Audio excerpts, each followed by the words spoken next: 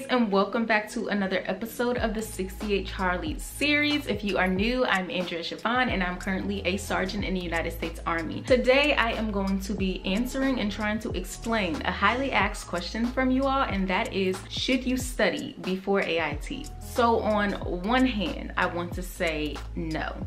But on the other, I wanna say just a little bit.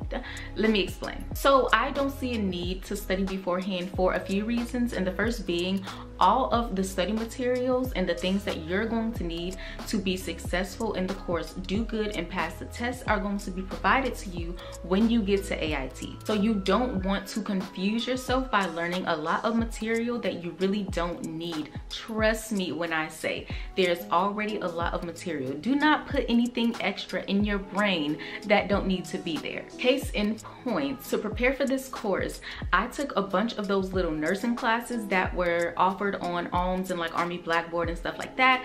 I cracked open my textbooks from when I was taking A&P. I was learning about all the bones and like different parts of the body. I mean, I was so deep in my studies down to like a cellular level.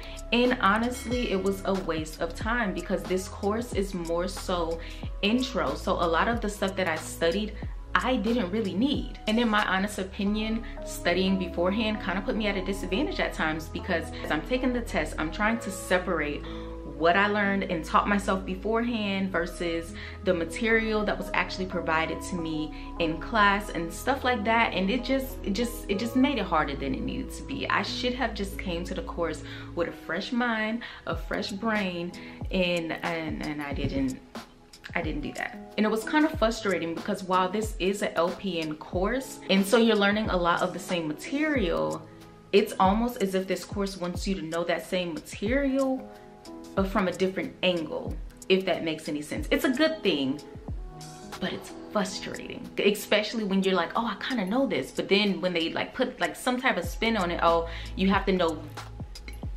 trust me you'll see when you get here what i'm talking about so you don't want to know this information this way when for this course you have to know it this way. Seriously, let me know down below if that makes sense, okay? Because I feel like I'm confusing myself, but I know what I'm talking about in my head though, okay? It makes sense right here, right now kind of. Another reason I don't want to make this video too long because I'm losing daylight. I'm using natural light right now because my kids are making shadow puppets with my light whatever. So another reason is simply because this course you're going into, it is long and it is demanding. So why would you want to make it that much more longer by studying for months and months in advance before you get here?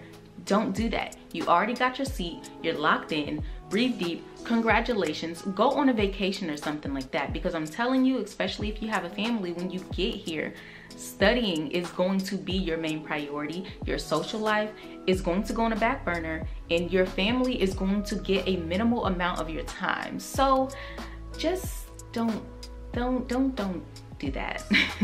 don't, don't spend too much time trying to study in advance, you know, because you're going to be fine when you get here. But for those of you who are still saying, but Andrea, I'm so nervous, I don't have a medical background whatsoever, is there anything I can do? Now, this is my advice, take it or leave it, your choice. So medical terminology is one of those things that I think you would benefit from studying a little bit of it beforehand because you're going to encounter medical terminology this entire course from what I'm seeing anyway. And in phase one, it is heavy. I'm heavy with the medical terminology and if I am remembering correctly you actually have a test over medical terminology so that's one of the things that you can go ahead and study and start to get a little bit used to and it's not to take you months and months and months you know to study for. I also think it would be a good idea to familiarize yourself with the different systems of the body. And I don't mean diving deep or anything like that into the different systems. I mean getting a general understanding of the systems of the body and their basic functions. For example, the reproductive system is this and it does this the urinary system is this and it does this. The muscular skeletal system is this and it does this. Like simple things like that just to get a a good understanding because in this course you are going to be going over the different systems of the body system by system and just knowing what the systems are and their basic functions is going to take you a long way especially if you don't have any medical background or any type of real biology background and stuff like that. Get familiar with the measurement conversions lot of the pharmacology questions that you are going to have are going to be asking you to convert something. So getting a little bit familiar with those conversions, that is going to give you a jump start. If I if I were to tell you to remember anything, I would tell you to remember that because when it comes to those conversions in pharmacology,